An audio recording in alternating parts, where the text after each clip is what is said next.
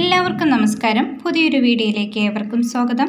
H S M Malayalam part B എൺപത് മാർക്കിന്റെ question പേപ്പറാണിത് സിലബസ് അനുസരിച്ചാണ് ക്വസ്റ്റ്യൻ പേപ്പർ തയ്യാറാക്കിയിരിക്കുന്നത്. ഇതിനു മുൻപ് ഒരു ക്വസ്റ്റ്യൻ പേപ്പർ ചെയ്തിരുന്നു. ആ സിലബസിൽ ബാക്കി ഭാഗങ്ങൾ ഉൾപ്പെടുത്തിക്കൊണ്ടാണ് ഈ ക്വസ്റ്റ്യൻ പേപ്പർ ചെയ്തിരിക്കുന്നത്. ഈ ക്വസ്റ്റ്യൻ പേപ്പർ രണ്ട് വീഡിയോ ആയിട്ടാണ് ചെയ്തിരിക്കുന്നത്. പാർട്ട് ബി മലയാള കവിത പ്രാചീന കവിത മുതൽ സമകാലീന കവിത വരെ. ഇതിൽ ഫസ്റ്റ് പാട്ട് പ്രസ്ഥാനവും ലക്ഷണമാണ് കഴിഞ്ഞ ക്വസ്റ്റ്യൻ പേപ്പറിൽ ഈ ഭാഗത്തു നിന്നാണ് പത്ത് ചോദ്യങ്ങൾ ഉൾപ്പെടുത്തിയിരുന്നത്. ഈ ക്വസ്റ്റ്യൻ പേപ്പറിൽ ഇതിന്റെ രണ്ടാമത്തെ വിഭാഗമായ മണിപ്രവാള പ്രസ്ഥാനം ലക്ഷണം പ്രാചീന ചമ്പുക്കൾ സന്ദേശകാവ്യങ്ങൾ മധ്യകാല ചമ്പുകൾ ഈ വിഭാഗത്തിൽ നിന്നാണ് പത്ത് ക്വസ്റ്റ്യങ്ങൾ ഉൾപ്പെടുത്തിയിരിക്കുന്നത്.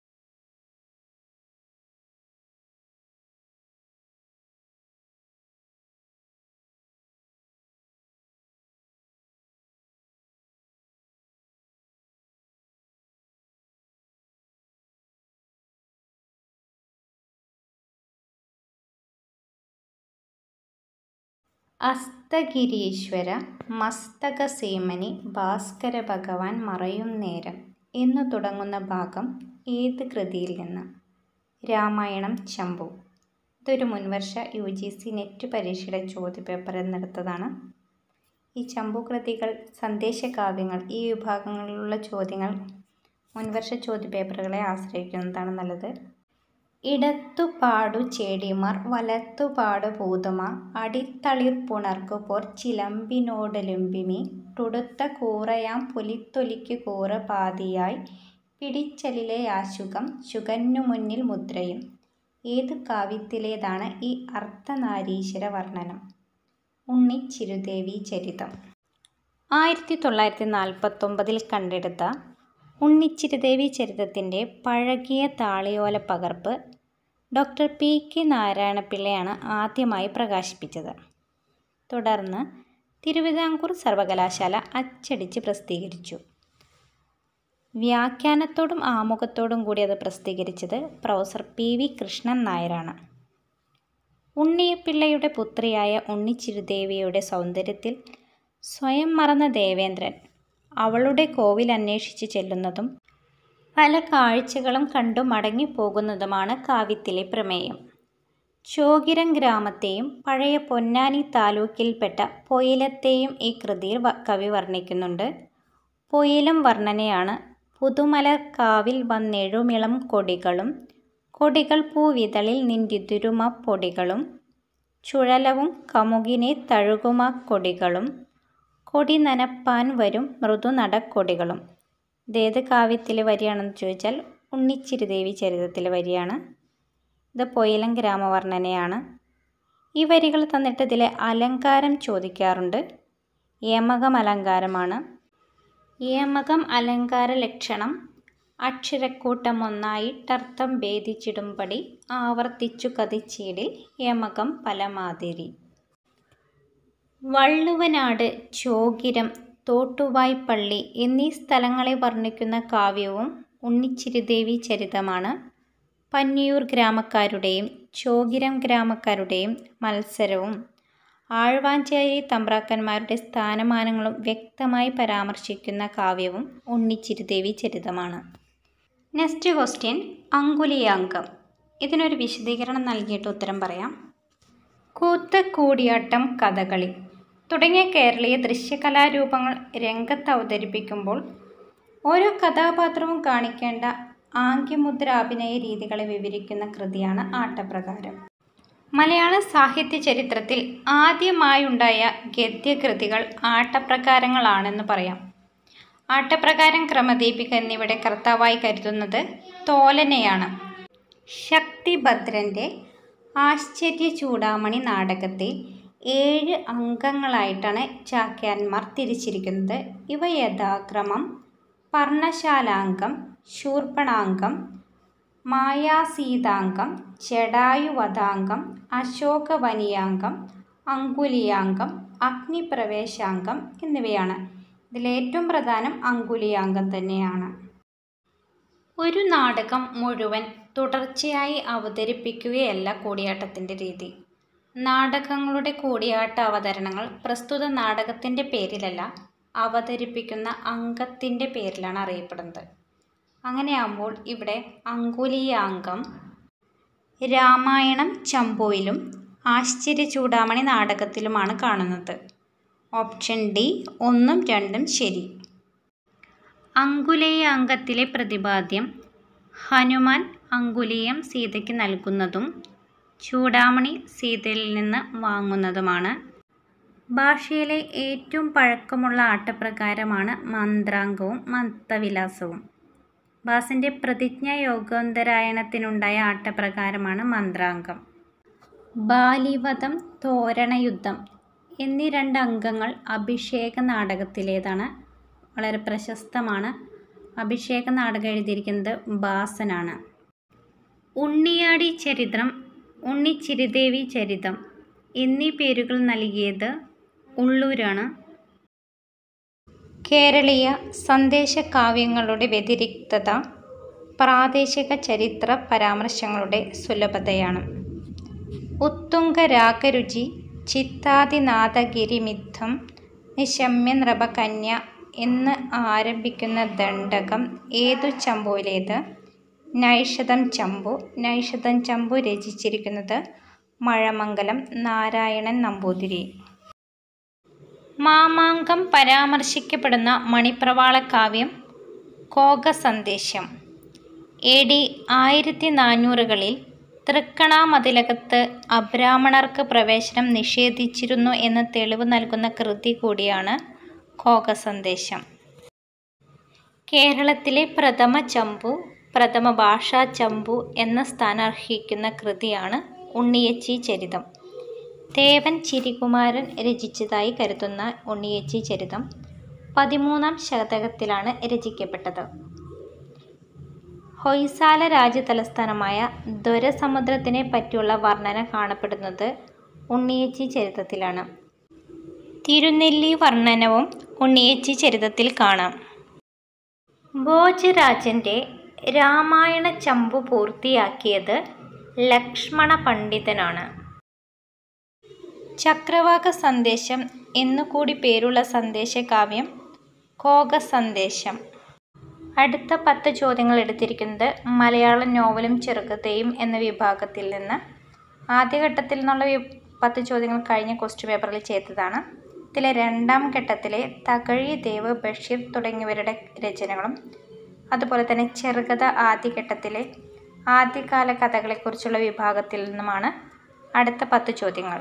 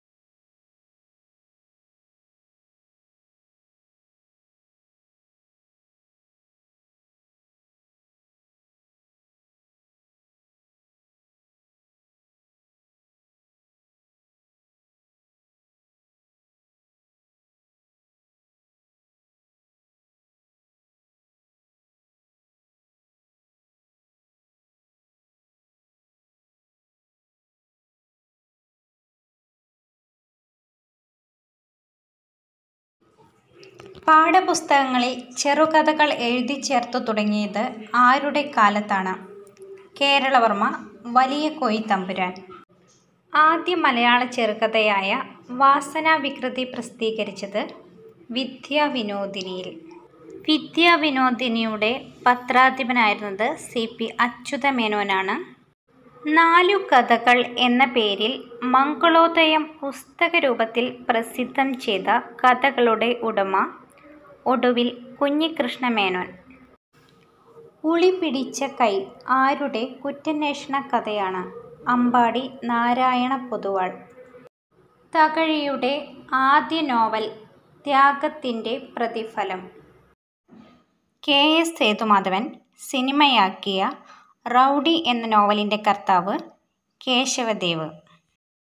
ആയിരത്തി തൊള്ളായിരത്തി അറുപത്തിനാലിൽ കേന്ദ്ര സാഹിത്യ അക്കാദമി പുരസ്കാരം ലഭിച്ച കേശവദേവിന്റെ നോവൽ അയൽക്കാർ. റഷ്യൻ വിപ്ലവത്തിൽ നിന്ന് പ്രചോദനം ഉൾക്കൊണ്ട് കേശവദേവ് രചിച്ച നോവൽ കണ്ണാടി. വെളിച്ചത്തിനെന്തു വെളിച്ചം? ഏതു നോവലിലെ വാക്യമാണ് ഡുപ്പാപ്പയ്ക്കൊരാനയുണ്ടായിരുന്നു ചങ്ങമ്പുഴയെ ഒരു ചിത്രകാരനായി സങ്കല്പിച്ച് ബഷീർ എഴുതിയ കഥ ഒഴിഞ്ഞ വീട് അടുത്ത പത്ത് ചോദ്യങ്ങൾ മൂന്നാമത്തെ വിഭാഗമായ ഗദ്യ സാഹിത്യത്തിലെ രണ്ടാമത്തെ ഉപവിഭാഗമായ ജീവചരിത്രം ലക്ഷണം വിഭിന്ന രംഗങ്ങളിൽ പ്രശസ്തരായവരുടെ ജീവചരിത്രം അവഗണിക്കപ്പെട്ടവരുടെ ജീവചരിത്രം ഈ വിഭാഗത്തിൽ നിന്നാണ് പത്ത് ചോദ്യങ്ങൾ ഉൾപ്പെടുത്തിയിരിക്കുന്നത്.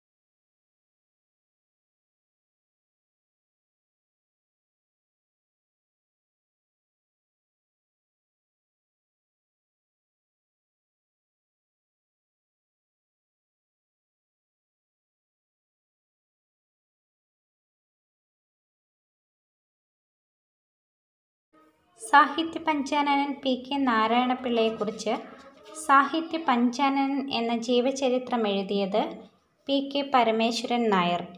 മലയാളത്തിലെ ജീവചരിത്ര സാഹിത്യത്തെക്കുറിച്ച് പറയുമ്പോൾ അവിസ്മരണീയമായ പേരുകളിൽ ഒന്നാണ് പി കെ പരമേശ്വരൻ നായരുടേത്. നെപ്പോളിയനും ജോസഫൈനും നെപ്പോളിയന്റെ ജീവിത സായാഹ്നം പ്രേമ ഗൗതമൻ വോൾട്ടെയർ സാഹിത്യ പഞ്ചാനനൻ സി വി രാമൻപിള്ള എന്നീ ജീവചരിത്ര രചനകൾ മലയാളത്തിന് സംഭാവന ചെയ്തത് പി കെ പരമേശ്വരൻ നായരാണ്. ഇതിൽ വോൾട്ടെയർ ലക്ഷണമൊത്ത രചനയാണെന്ന് പറയാം. ശക്തൻ തമ്പുരാൻ എന്ന ജീവചരിത്രത്തിന്റെ രചയിതാവ് പുത്തെഴുത്ത് രാമൻ മേനോൻ.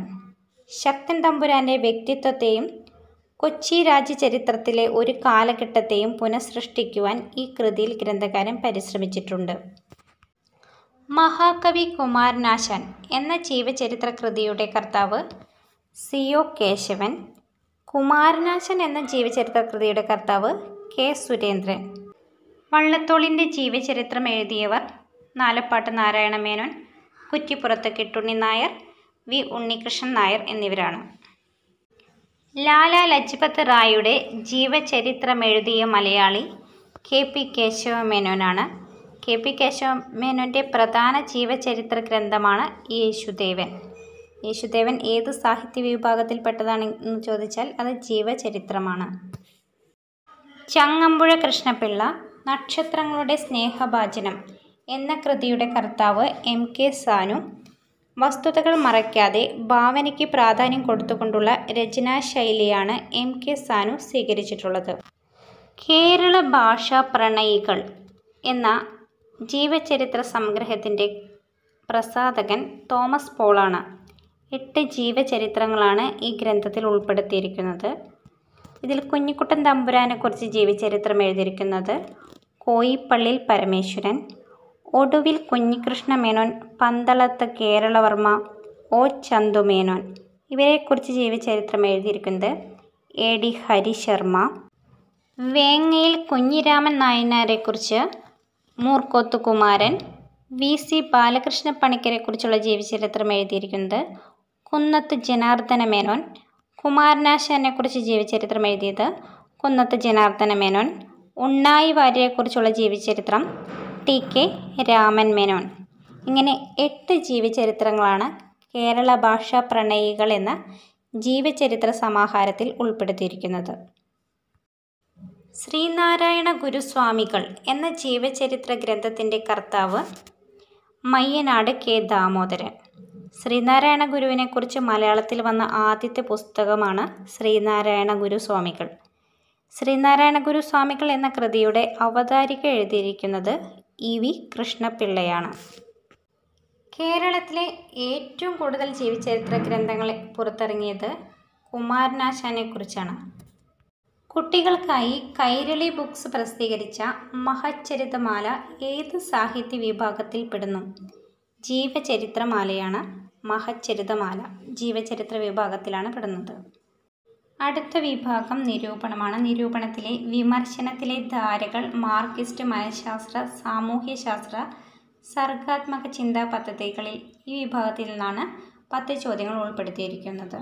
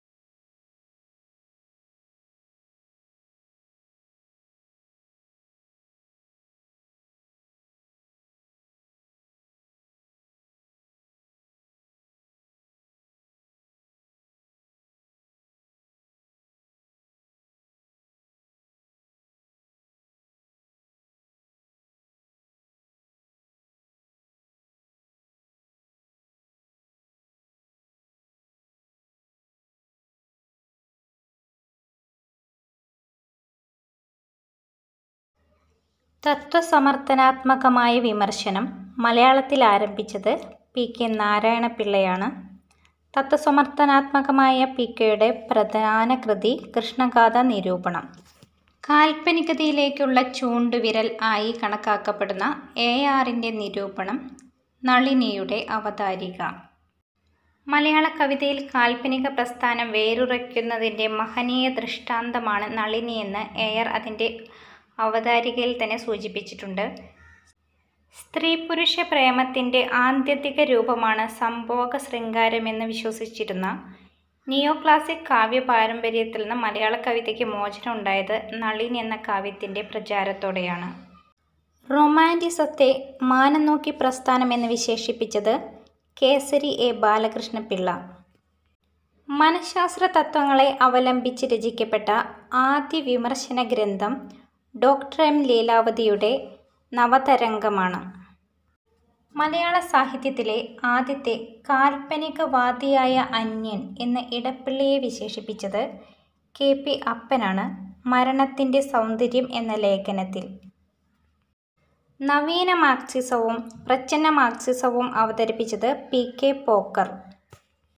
ഭക്തിയെ പരിശുദ്ധി എന്ന ഭാവത്തോടിണക്കി മലയാളത്തിൽ ഭക്തി സാഹിത്യ ചർച്ച നടത്തിയവരിൽ പ്രമുഖൻ പി. കെ. നാരായണപിള്ള. ആത്മാനുഭൂതി സിദ്ധാന്തമനുസരിച്ച് മാത്രം വിമർശനം നടത്തിയത് കുട്ടിക്കൃഷ്ണമാരാർ മനഃശാസ്ത്ര തത്വവിജ്ഞാനീയ ചിന്ത മലയാള നിരൂപണ ചിന്തയിൽ പ്രചരിപ്പിച്ചത് കേസരി എ. ബാലകൃഷ്ണപിള്ള. ഫ്രോയിഡിയൻ മനഃശാസ്ത്ര തത്വങ്ങളെ അടിസ്ഥാനമാക്കി നിരൂപണം നടത്തിയ നിരൂപകൻ എം എൻ വിജയൻ. ഈ ക്വസ്റ്റ്യൻ പേപ്പറിന്റെ ബാക്കി നാൽപ്പത് ചോദ്യങ്ങളുമായി അടുത്ത വീഡിയോയിൽ കാണാം. നിങ്ങൾക്ക് ഈ വീഡിയോ ഇഷ്ടമായാൽ ലൈക്ക് ചെയ്യാനും കമന്റ് ചെയ്യാനും ചാനൽ സബ്സ്ക്രൈബ് ചെയ്യാനും മറക്കരുത്.